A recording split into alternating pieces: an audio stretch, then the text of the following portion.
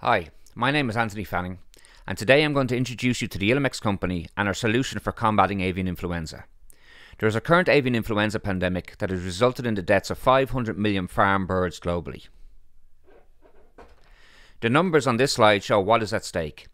500 million farm birds killed globally by avian flu and related culling to date, 1.5% of the global total for farm birds.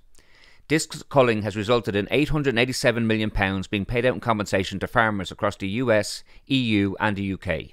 In the UK alone, that number was £42 million. Across the UK, there are over 1,000 poultry concentrated animal feeding operations or CAFOs. Including the number from the US, it jumps to over 51,000. In the UK, 251 of these operations received compensation of over £165,000 each. Nearly a quarter were compensated. Extrapolating those numbers across the US and EU, and we see the costs quickly become colossal. Failing to find a solution to this problem could result in the destruction of the poultry industry in the UK. Insurance companies have already stated that they will remove insurance cover this November without further disease mitigations.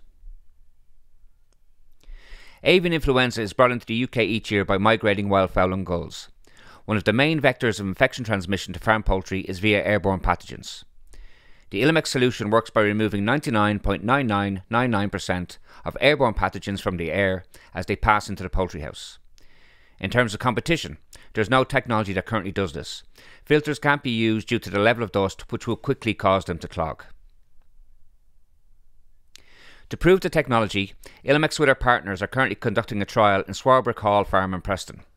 The purpose of this trial is to measure the difference installing an Ilimex UVC FluFence system into a poultry house containing a crop of broiler chickens has on the presence of airborne pathogens.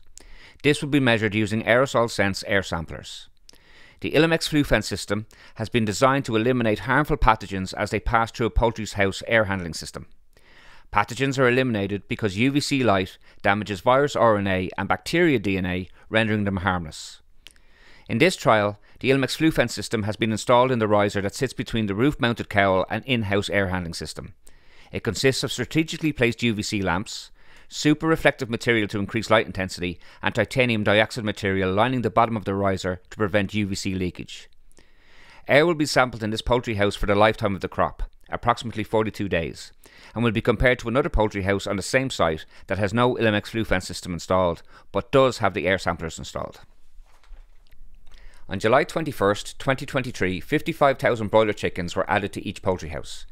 This first shed will be fitted with the Ilimex UVC FluFence system and four aerosol sense air samplers to measure the effects of the FluFence system. This second poultry house will contain air samplers only. This shows the inside of an empty poultry house.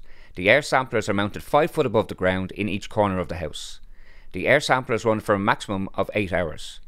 The protocol involves one cartridge per sampler at day minus 2, day 0, day 10, day 20, day 30, day 37, and 42 days per crop of birds.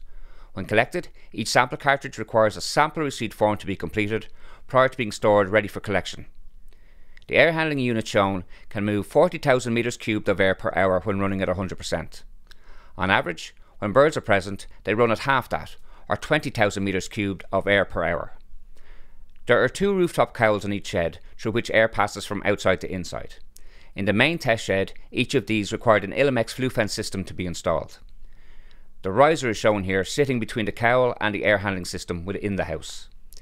This shows the aerosol sense air sampling unit, four of which are installed in each poultry house. These units have been used in numerous tests, including in a trial conducted in Addenbrooke's Hospital in Cambridgeshire to check for the presence of airborne pathogens across several acute wards. This poultry house is fitted with a BMS.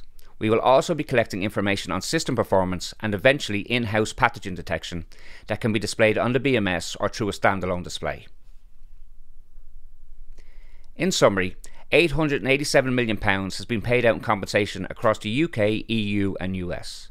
The current avian flu pandemic is the worst in history and there's a global race to come up with a solution. Ilimex will have a working solution by the end of Q3 2023. Investment is required to scale the business to reach maximum market penetration quickly.